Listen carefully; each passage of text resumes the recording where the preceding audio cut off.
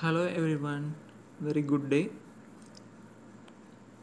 Let us take an object on which I apply a force, an external force. So obviously what will happen, the consequence will be this object will started to move and it will experience an acceleration of A and we know by Newton's second law this uh, acceleration will be directly proportional to the motive force impressed. So F is equal to ma and this mass we call it as the inertial mass or we can even say this is the inertia to the linear acceleration. In the similar way uh, suppose I take a beam uh, cantilever beam and if I apply the same force the external force F what will happen to this beam whether this beam will started to accelerate? No. This beam will bend like this. So some amount of deflection will happen. And this deflection depends upon the magnitude of this force. But anyway this geometry the cross section of this particular beam will also produce some amount of resistance. And that resistance we call it as moment of inertia. That resistance we call it as the moment of inertia. And particularly uh, we call uh, this resistance as the area moment of inertia. Area moment of inertia is the property of a geometry to resist the bending that happens on any beam.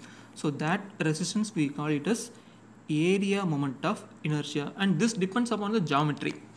In a particular geometry where we take the reference axis also it it matters so this particular property we call it as area moment of inertia. It is nothing but the measurement of uh, cross section's ability to resist the bending.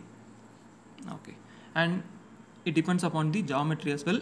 For every cross section it will vary. If you have a rectangular cross section it will have uh, one kind of resistance. If we have a circular cross section it will have another magnitude of resistance is it possible to measure the resistance? Yes it is possible. Because we have already introduced you a quantity which is called as integration of yda uh, which we denote denote it as the first moment of area.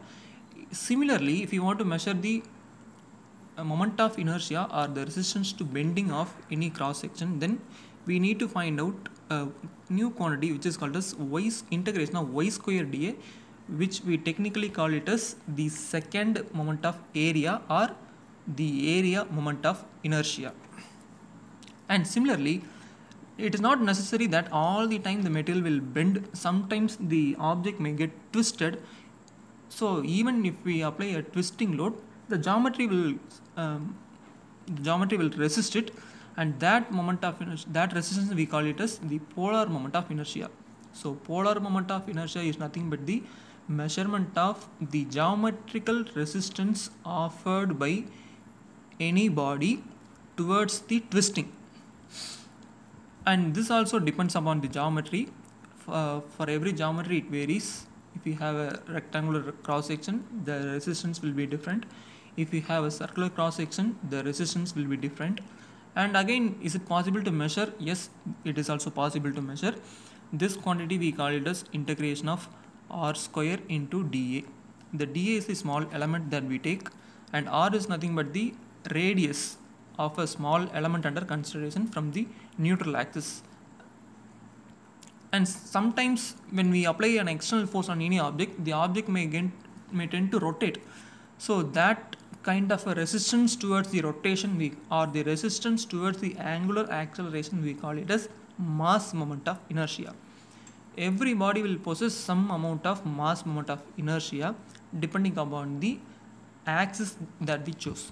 It depends upon the geometry. So the resistance to the angular acceleration or the rotation is called as mass moment of inertia. Thank you